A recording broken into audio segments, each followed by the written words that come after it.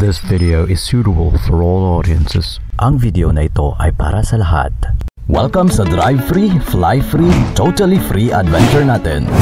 Bago lahat yan, ako si Gift at nasa puso nating mga Pilipino ang ecotourism dahil mayaman tayo dito sa likas na ganda ng paligid natin.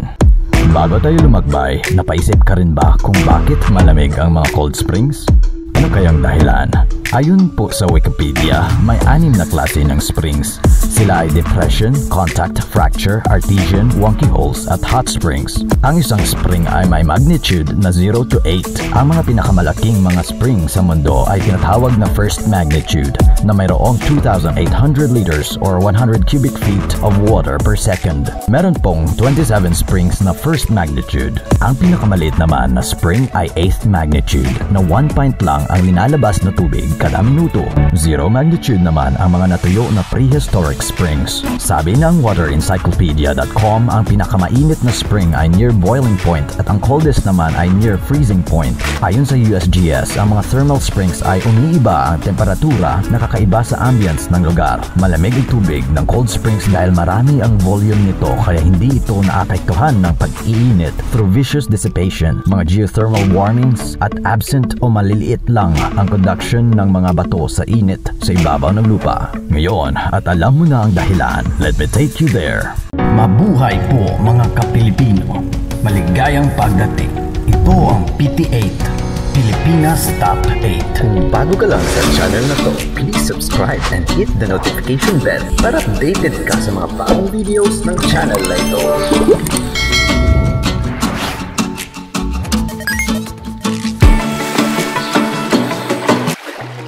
Kung tapos ka na mag-subscribe, maraming salamat sa iyo, Noipi. Walo, Kambuhawi Cold Spring Pool. Mahahanap sa Balamban, 64 kilometers hilagang kanluran ng Cebu City.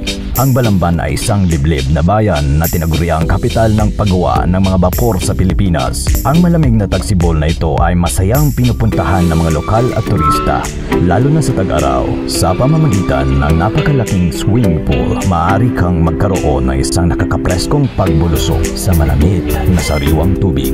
Sarado ang spring kapag Tuesday at Wednesday para sa maintenance. Ito ay bukas 8 a.m. to 5 p.m. kada araw 20 pesos entrance fee. Bukas sa minimum of 10 katao pag gabi 5 p.m. hanggang 10 p.m. sa halaga na 100 kada tao. Kailangan magpa-reserve ng dalawang araw in advance.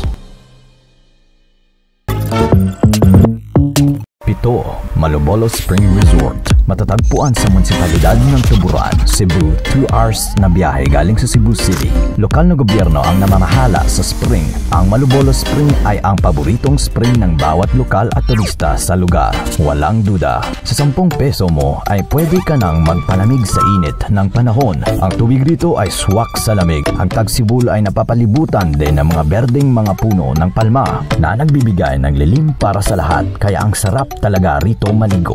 Ang mga bisita ay maaring magdala o magluto ng kanilang sariling pagkain dahil walang corkage fee. Ngunit siguraduhin na masanay sa Claygo, clean as you go, 10 per head ang entrance fee at 5 naman sa mga bata.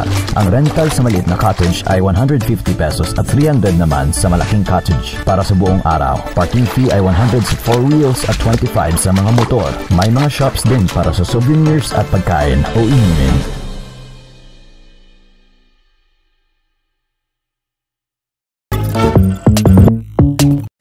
Gacob Cold Spring. Ang bukal ay matatagpuan sa Barangay Banhigan, Dalagyade sa loob ng isang lugar ng bakawan o mangroves. Ang malimig na tubig sa Tagsibol ay mainam para sa mga bisita na nais magpalamig pagkatapos ng kanilang paglalakbay. Napakalinaw ng tubig. Maaari mong makita ang mga bato sa ilalim ng pool. Kilala ang Dalagyete sa maraming bagay kasama na ang pangunahing mapagkukunan ng gulay ng lungsod ng Cebu. Ito rin ang summer capital ng Cebu dahil sa malamig na klima.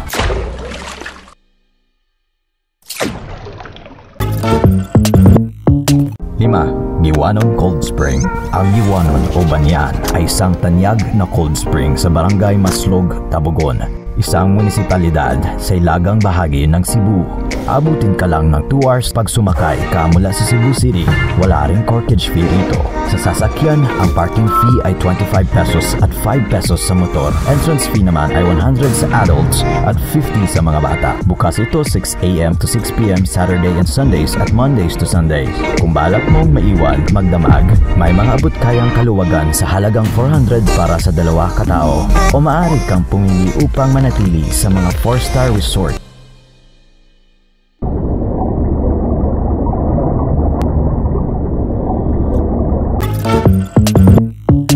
Carrapato. Lunoy Cold Spring. Ang Lunoy Cold Spring ay binubuo ng tatlong magkakahiwalay na bukal na nagmumula sa kalapit ng bundok. Maagos ang tubig pababa ng burol sa bawat man-made pool na nakakatugon sa ilog ng tubig tabang. Ito ay isang tanyag na lokasyon para sa mga lokal na tumambay sa katapusan ng linggo at hindi ka makakahanap ng masyadong maraming mga turista rito. Ang mga merienda at inumin ay available mula sa maliit na tindahan sa tabi ng mga bukal. Ayon sa mga lokal, mayroong limang bukal sa paligid at ito ang mapagkukunan ng inumang tubig sa mga Tagalunoy.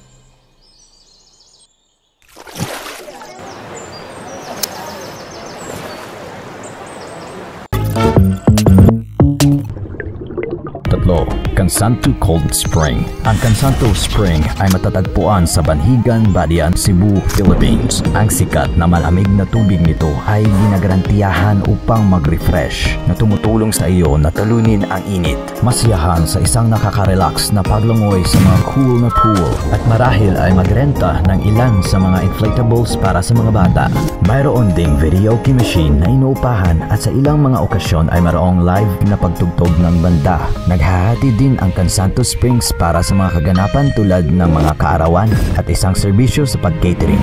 Maaari itong maging abala sa mga oras ng peak season tulad ng Pasko, Pasko ng pagkabuhay at ang Fiesta ng Bayan.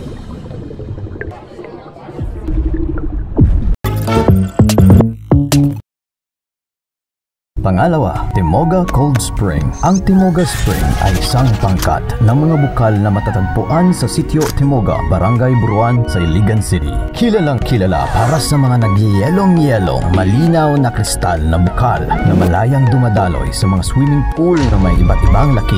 Mayroong humigit kumulang limang mga spring resorts sa kabaan ng highway na madaling mapupuntahan ng lahat ng mga lokal at turista. Ito ay ang Maravillas Swimming Pools, Mimay Springway Resort, De La Mar Resort, Timoga Spring Pool, at ang El Lorenzo Swimming Pools. Ang pinakamalaki sa mga ito ay ang Delmar Resort na may laki ng pool na kasing laki ng Olimpico. Ngunit ang pinakakaakit-akit ay ang Timoga Spring Pool. Ang pinagkukunan ng tubig ng Timoga Springs ay nagmula sa Lake Lanao sa Marawi City, Lanao del Sur, na may 37 na kilometro ang layo. Ang tubig sa lawa ng Lanao ay nagmula sa lawa ng bunganga ng isang patay na bulkan. Ang mga katubigan na ito ay nasala sa ilalim ng lupa sa Timoga, Buruan na lugar ng Iligan na ginagawa itong isa sa pinakamayamang mapagkukunan ng sariwa mataas na pH alkaline na mineral na tubig.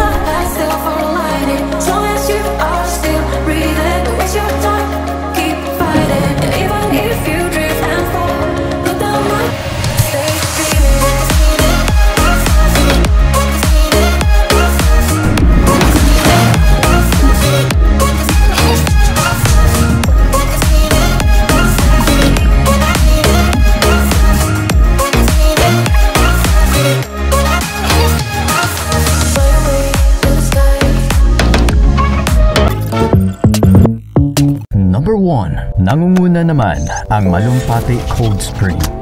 Sa hilagang bahagi ng Antique na tatago sa loob ng kagubatan, nakasalalay ang isang nakatagong hiyas, Malumpati Cold Spring. Ito ang pinakamalinis na inland na katawan ng tubig sa bansa. Parang tumitingin ka lang sa kristal na salamin kung titigan mo ito. Ang Malumpati ay isang pinakamagandang akit na mabibigay ng lalawigan ng Antique. Tunay na ginawang kagandahan ng langit, ang kristal na malinaw na turkesa na asul na tubig ay nakakaakit at inaanyayahan ang sino man na maligo at maramdaman ang sariwa at malamig na tubig ng ilog. Ang Malumpati ay isang tahimik, maayos na lugar kung saan maaari kang makapagpahinga sa pamamagitan ng paglutang ng payapa sa tabi ng ilog at gumaan ang pakiramdam para tuluyang matunaw ang stress. At yun lang po, Kanoy P. Huwag po natin kalimutan mag-subscribe kung nagustuhan po natin ang video. Kung gusto mo po na palaging updated, hit that bell na rin po. Have a safe trip always, stay ingat. Ito po si gift para sa Philippine Ecotourism. Godspeed!